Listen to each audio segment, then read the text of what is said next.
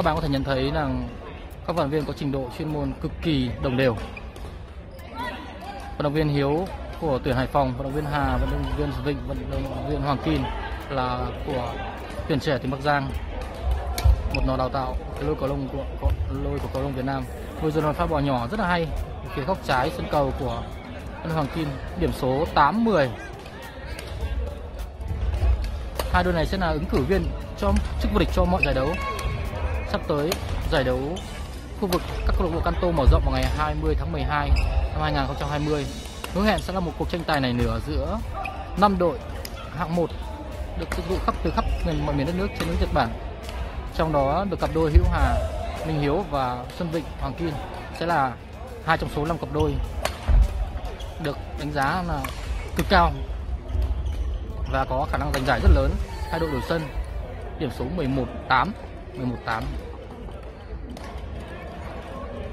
vận động viên Hữu Hà chắc là rất là khó khăn khi sử dụng cây vợt Achoc 100 ZZ của tôi. Bởi vì tôi căng cây vợt này rất là trùng ở mức 10,6 kg. Tuy nhiên mà tôi nhận thấy thì điều này cũng không ảnh hưởng nhiều tới cái khả năng cơ động cũng như đánh chặn của vận động viên Hữu Hà bởi anh là một vận động viên rất là kinh nghiệm. Cùng đối với anh có các vận động viên nổi tiếng như vận động viên Long Phò Mã Ngô Hải Vân. Anh sinh năm 1983 đặc biệt anh đã tham gia rất là nhiều giải cầu lông của Nhật và giành rất, rất nhiều giải cao. Trong đó đặc biệt nội dung nam nữ anh đã giành được rất nhiều giải. Hữu Hà anh vẫn là một động viên gạo cội trong số tất cả các vận động viên tham dự trên sân. Cũng không thể không nhắc đến Minh Hiếu một vận động viên trẻ tài năng. Anh cũng đã tham gia rất nhiều giải giành được rất nhiều chức vô địch đôi nam đôi nam nữ cùng với trường đại học cũng như hiện tại anh đang sinh hoạt tại câu lạc bộ cầu lông Nakano một câu lạc bộ cầu lông có rất nhiều các vận động viên Nhật Bản thi đấu có trình độ chuyên môn rất cao điều đó cũng rất là dễ hiểu khi trình độ của anh. Không hề kém so với ba vận động viên còn lại. Bốn vận động viên cùng trong top tuyển thi đấu sẽ là, hứa hẹn sẽ đem lại những trận cầu căng thẳng và cực kỳ hấp dẫn cho tất cả quý vị và các bạn. Không biết em gái nào đang ở bên cạnh tôi đây? Tôi vừa nghe tiếng cười rất là quen nhưng vẫn chưa nhận ra em là ai cả. À chúng ta cùng lướt qua sân phía bạn phía bên phía bên này một chút. À thì ra là em chi chi các bạn ạ. Đây, hiện diện trước mặt trước quý vị các bạn là em chi chi với trang phục rất được rỡ giày hồng tất hồng và quần màu hồng, áo hồng.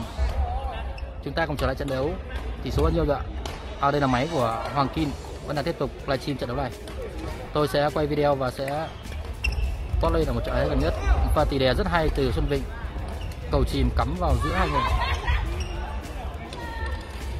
Không biết đôi nào thua đấy ạ? Đôi nào thua ạ? À, à. cầu ngoài sân.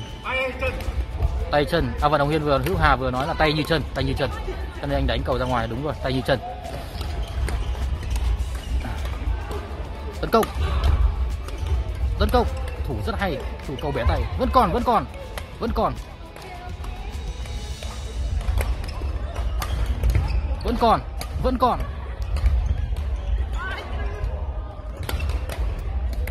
Một quả đập cầu vặn rất tốt từ Hoàng Kim. Rất nặng rất nặng.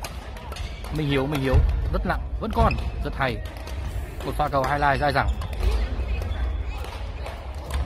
không biết bên nào sẽ giành điểm số trong pha cầu này đây Oh, thật vô cùng đáng tiếc, vô cùng đáng tiếc. Minh Hiếu đã vẩy cầu vào lưới.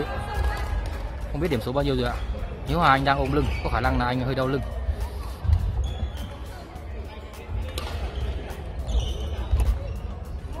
Vận động viên Hoàng Kim phát cầu, anh rất cẩn thận chặt chẽ trong từng phát cầu. Hôm nay vận động viên Hoàng Kim cũng không sử dụng cây vật Dura quen thuộc của anh mà anh sử dụng cây vật Niding Arsenal 9000C giống như của tôi. Đây sẽ làm khó khăn rất lớn trong việc chiếm lĩnh khoảng không. Thế nhưng bù lại cây vật Linh Acerola 9000C là một cái vật cao cấp rất nổi tiếng với khả năng đánh chặn cùng với khả năng tấn công cực kỳ cao cấp. Tôi sẽ cùng đồng hành cùng tất cả các bạn sẽ đến hết trận đấu này để xem tỷ số sẽ là nghiêng về đôi nào đấy ạ. Một pha phát cầu cao sâu về phía quốc dân, Mình Hiếu tấn công. Tiếp tục. Rất hay. Nhưng vẫn à không còn nữa rồi. Một pha tấn công rất mạnh về cánh sườn bên trái của Hoàng Kim, anh có bất ngờ. Hai đội đang hội chiến thuật, tôi không nghe rõ là gì. Chỉ nghe thấy bảo đập mạnh vào, không biết đập mạnh vào đâu. Không thành công. Hình như điểm số đang nghiêng về phía của đội Hữu Hà và Minh Hiếu.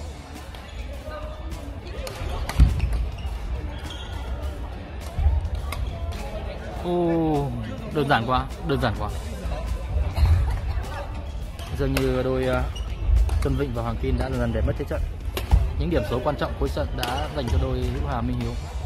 Đây thực kỳ là một một ốc nhớ cầu hay quá vẫn còn vẫn còn vẫn còn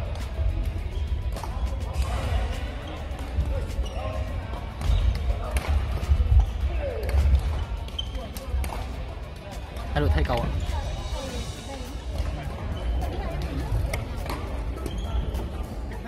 hai vận động viên hội ý. Nhằm ra.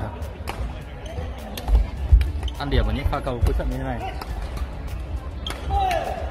Bao nhiêu rồi ạ? Bao nhiêu rồi ạ? Không biết là bao nhiêu. Thực sự tôi không biết là bao nhiêu. À vận động viên Hoàng Kim đã bị mất nước. Anh bị mất nước và anh à, trở ra uống nước. Lọ nước mà anh đang dùng cũng chính là lọ nước mà Lee Chung Wei uống vào trận Olympic 2006 2016 ở Brazil. Trận đấu tiếp tục. Hiện tại là 8 giờ 5 phút. Không biết là tử thần sẽ kêu tên đội nào đây. Tấn công, mình nhiều tấn công. Mình nhiều cái cổ tay rất là tuyệt vời. Động tác cực kỳ chuẩn. Không còn ai nữa rồi. Không còn ai nữa rồi. Không còn ai nữa rồi. Ôi trời cầu ra ngoài sân, vô cùng đáng tiếc, vô cùng đáng tiếc. Hai vận động viên Xuân Vinh Hoàng Kim đã để cơ hội trôi qua trước mũi vợt. Sân này thì điểm số có thể là 17 hoặc 19 gì đó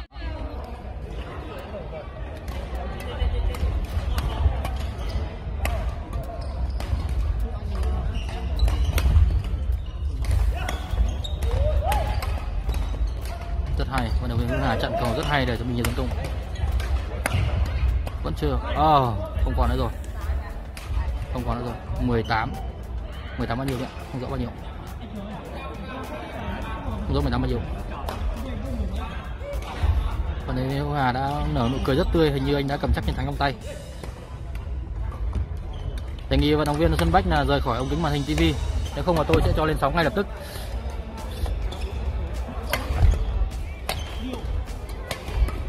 Mạnh rất cắm, cầu đã ra ngoài. 19 tỷ số 19 19 16 19 16 19 16